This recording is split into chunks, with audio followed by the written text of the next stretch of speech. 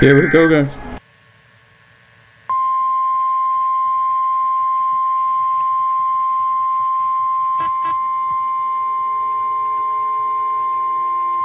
The National Weather Service has issued severe thunderstorm watch number 78, effective until midnight Eastern Daylight Time Saturday.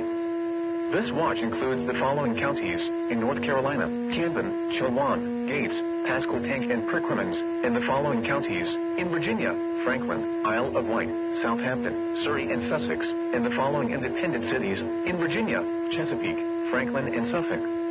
Remember, a severe thunderstorm watch means the conditions are favorable for the development of severe weather, including large hail and damaging winds in and close to the watch area. While severe weather may not be imminent, persons should remain alert for rapidly changing weather conditions and listen for later statements and possible warnings.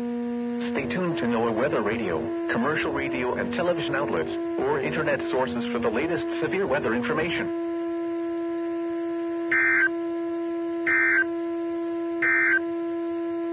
The National